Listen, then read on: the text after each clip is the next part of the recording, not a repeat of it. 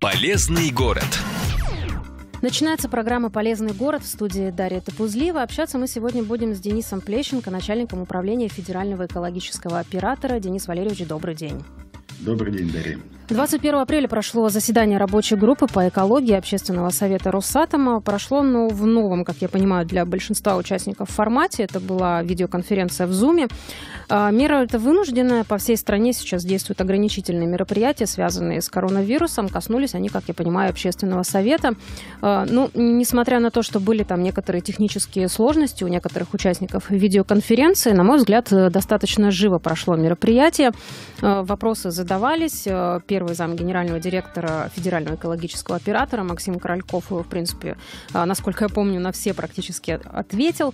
А, Денис Валерьевич, вот пару слов о том, а, как вам работа в таком формате, насколько, на ваш взгляд, члены общественного совета вообще включились в нее, можно ли это считать полноценной работой, а потом мы уже предметно поговорим тогда о тех тезисах, которые звучали на рабочей группе. Да, вы знаете, это новый формат для нас. Мы сами еще э, к нему не пристроились. Приходится работать то дома, то на работе. Но, тем не менее, вынужденная мера никуда от этого не деться. Тем более, что э, члены общественного совета э, являются представителями различных регионов нашей необъятной Родины. И собрать всех, к сожалению, в Москве с учетом текущей ситуации ну, просто невозможно. А, на мой взгляд, несмотря на технические сложности э, все прошло э, вполне позитивно и э, в рабочем состоянии. И мне кажется, что такой формат вполне себе имеет место на существование. А, кроме того, все действительно включились, и а, дискуссия прошла конструктивно. Мы отчитались о проделанной работе в 2019 году по федеральным проектам, которые мы выполнили, и о планах на 2020. Угу. Ну вот если о планах э, говорить, э, Тамара Яковлевна Шихмина, как раз представитель Кировской области, если я правильно помню, задавала вопрос э, по проекту АВОЗ, вот оценки воздействия на окружающую среду.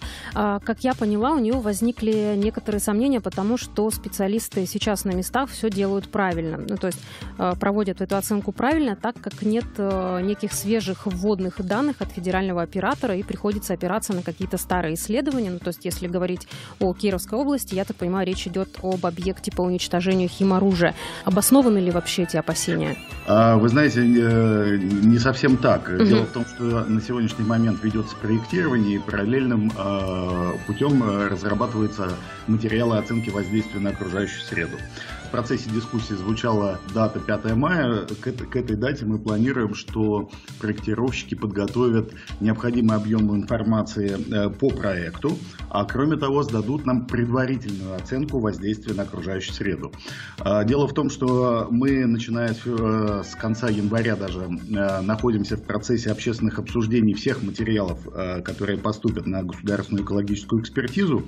Уже была проведена, проведены общественные обсуждения обсуждение технического задания на разработку материалов э, оценки воздействия на окружающую среду. И поступило, кстати говоря, довольно много замечаний и предложений от общественности, в чем мы э, на самом деле, э, с одной стороны, это радостный момент, мы большую часть этих предложений учли, я вам скажу, что порядка 50 а, замечаний предложений было. А, и мы могли учесть и то, что соответствовало непосредственно документации. А далее у нас еще два этапа проведения общественных обсуждений. Это второй этап – это предварительная оценка воздействия и, собственно говоря, сама проектная документация. Так вот, к 5 мая планируется, что мы поставили такой довольно жесткий срок для разработчиков данной документации мы получим предварительную оценку. Далее эта предварительная оценка пройдет через процедуру общественных обсуждений. Нам также поступят замечания и предложения, и она с учетом замечаний и предложений общественности, экспертного сообщества, э, научного сообщества будет доработана и превратится уже э, в июне месяце, э, даже я бы сказал, к концу июня месяца уже в окончательные материалы оценки воздействия. Поэтому э, срок, э, он вполне себе реальный. Угу. Но эти проекты каждый регион будет делать, будут делать у себя все регионы, правильно ли я понимаю?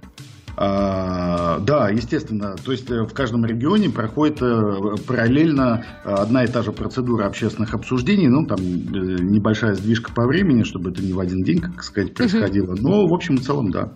Как-то регионы между собой в этом вопросе контактируют, то есть может делиться какими-то методиками, наработками? А вы знаете, вот, э, собственно говоря, вчерашнее заседание общественного совета, оно и показывает то, что э, представители экспертного научного сообщества, они находятся все в э, составе одной рабочей группы, и между ними происходит постоянная коммуникация. Кроме того, многие из них являются представителями высших учебных заведений, поэтому между ними уже давние устоявшиеся научные связи, поэтому, без сомнения, они между собой коммуницируют. Угу. Ну вот, насколько я помню, последнее очное такое такое заседание рабочей группы, если я не путаю, было в декабре как раз э, в Кирове у нас тут на базе ВятГУ. Да. Вот э, с того момента, насколько вообще продвинулась работа по реализации вот проекта по инфраструктуре именно обращения с отходами первого и второго класса опасности, потому что вот в Кирове, по крайней мере, у общественности э, по поводу инфраструктуры достаточно много вопросов возникает непосредственно там у жителей Мирного и у кировчан у самих. А, вы знаете, ну, весь этот период э, неустанно ведется процесс проектирования. Это довольно сложные инфраструктурные объекты. Его для того, чтобы сделать проект, требуется довольно длительное время. Но, как я уже говорил, за этот период из общественных мероприятий мы провели первый этап общественных обсуждений. То есть обсудили ТЗ на АВОЗ. И, опять же, как я говорил, получили довольно серьезный отклик от общественности, что не может не радовать. Э, гражданская позиция у населения Кировской области довольно активная. Поэтому ага. э, вот в ближайшее время мы сейчас выйдем на второй и э, чуть позже на третий этап общественных обсуждений. Ну вот, Денис Валерьевич, если говорить вот об этой общественной активности, она все же больше исходит непосредственно от тех, кто э, входит в рабочие, в рабочие группы, да, там экологи, ну то есть специалисты, те, кто непосредственно этим занимаются, или подключились все равно уже рядовые жители, и их мнение тоже как-то в этом вопросе учитываются? А, без сомнения учитываются любые мнения, поступившие в наш адрес. И единственное, что мы должны рассматривать каждое поступившее предложение на э, предмет возможности его учета или неучета угу. в нашей работе. И, соответственно, если э, были какие-то конструктивные предложения, которые необходимо учесть, например, при разработке тех же самых материалов оценки воздействия на окружающую среду, поступали ряд предложений, что нужно дополнительно рассмотреть смотреть в, в этой работе, то э, нами учитывалось, э, учитывались эти замечания. А, ну, замечания, извините, Баба Яга против, но тут... Ну, это понятно, да. То есть, а, тут вот... учесть не могли. Ну, вот смотрите, да, тут еще момент по э, информационной системе, по ГИС, да, которая система учета и контроля за обращением с отходами. А, тут понятно, что, да, она не вызывает такого интереса вроде бы у общественности, у, по крайней мере, вот у простых жителей, как, например, та же самая инфраструктура, а, тем не менее вещь важная, то есть там огромный список э, задач, которые стоят перед ГИС, она сейчас э, уже где-то внедряется, если внедряется, если уже прошла обкатку программа, как все прошло. Вы знаете, но э, на сегодняшний момент система находится в разработке, но э, тестовый э, режим мы уже запускаем. Мы провели первый обучающий семинар, в котором приняло ни много ни мало 80 человек из почти более чем 10 регионов э, страны. И мы такие семинары будем проводить на регулярной основе, рассылаем обращения в региональные органы власти для того, чтобы и они привлекались, и привлекали, соответственно, производители отходов.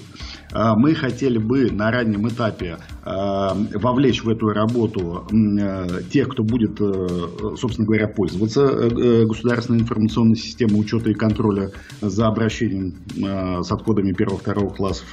И чтобы на раннем этапе учесть также замечания, получить предложения по совершенствованию. И кроме того, чтобы у пользователей данной системы возникло, возник опыт обращения с ней потому что с 1 января 2022 года она будет введена в эксплуатацию, и э, все будут жить по-новому, по сути своей, используя э, данную государственную информационную систему. Поэтому, чтобы это не было неожиданностью, мы уже на ранней стадии привлекаем э, к работе с ней. То есть по ГИС идет точно такой же сбор предложений, потому что вот э, так э, с первого взгляда кажется, что это достаточно специфическая такая вещь, и она больше как-то вот, я не знаю, там для э, руководства регионов, то есть для предприятий, то есть для тех, кто непосредственно сможет этим пользоваться, и непонятно, да, на какой стадии может подключиться общественность, и какие э, дельные замечания вообще можно сделать, они вообще поступают такие вещи, которые действительно вот принимаются во внимание? А, здесь больше ведется все-таки работа с теми, кто будет пользоваться uh-huh. информационной системой. То есть э, непосредственно население, наверное, э, для э, населения это не так интересно с точки зрения использования ее, но для экспертного сообщества, опять же, очень можно будет оттуда подчеркнуть важную информацию, так как на сегодняшний день в стране нет эм, скажем так, стопроцентного понимания по образованию отходов, по их перемещению, по их переработке и, собственно говоря, где они находятся. Соответственно, мы э, на сегодняшний момент создаем эту систему для того, чтобы понимать, весь жизненный путь отхода от момента его образования до момента его, собственно говоря, переработки в какую-то дальнейшую полезную продукцию. И, соответственно, при образовании отхода он будет маркироваться, при перемещении э, будут геометки, соответственно, можно будет отследить э, весь жизненный путь любого отхода от точки А до уже точки Б, скажем так. Вот еще один момент, да, который прозвучал на заседании рабочей группы, создание некого научного консорциума консорциумов, которые должны, как я поняла, войти в вузы регионов, где будут реализованы проекты. А, я понимаю, да, что сейчас это все, похоже, еще в зачаточном состоянии находится, но тем не менее, какую функцию вообще предполагает на себя взять этот научный консорциум, то есть чем будут заниматься специалисты, то есть к какой непосредственно работе можно их подключить или уже, не знаю, готовы, возможно, кто-то уже подключился? Вы знаете, тут нужно э, разделить несколько на, на два вопроса. Я бы, uh значит, первый момент. Мы провели уже довольно значительную работу с высшими учебными заведениями и научными центрами в стране, заключив с ними соглашение о сотрудничестве. А на сегодняшний момент, вот, собственно говоря, да, вы правильно сказали, что ведется речь о создании консорциума, а его деятельность призвана помочь нам в реализации сложных технологических задач. А, дело в том, что э, федеральные экологические операторы на сегодняшний момент участвуют в двух федеральных проектах э, э, национальных, точнее, проектах. В национальном проекте экологии, реализуя в нем проект «Инфраструктура по обращению с отходами первого-второго классов», э, в рамках которого, собственно говоря, и создается и э, государственная информационная система, и будет разработана федеральная э, территориальная схема обращения с отходами, и параллельным путем создается также инфраструктура, в частности, на базе ближайшего к вам объекта Мародыковский.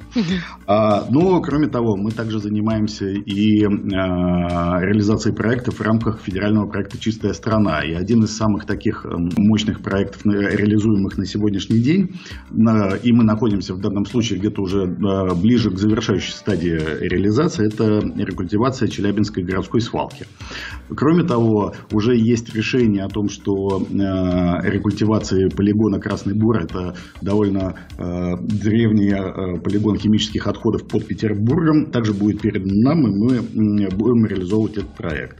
Для того, чтобы выработать технологические подходы, нам необходимо, естественно, естественно, помощь э, научного сообщества. И в данном-то случае мы хотим использовать консорциум э, опорных вузов регионов, а также РХТУ имени Менделеева для того, чтобы э, в дальнейшем реализовывать поставленные перед нами задачи. Угу. Ну вот я смотрела тоже заседание рабочей группы и видела эту челябинскую свалку. Конечно, впечатлилась, во-первых, тем, что она так долго работала, как, как оказалось, и во-вторых, то, в какие сжатые сроки, как мне показалось, все это было сделано это уже делалось э, с помощью вот научного какого-то сообщества или, или это только исключительно наработки федерального оператора и есть еще тут куда разви- развиваться в этом плане? А, нет, ну точно так же, как и при реализации любого проекта разрабатывался проект, э, вырабатывались технологические подходы, а, и в дальнейшем мы уже перешли к непосредственному выполнению данных работ. Без сомнения, научное сообщество в этом тоже участвовало. Может быть, не в виде такого консорциума, как создается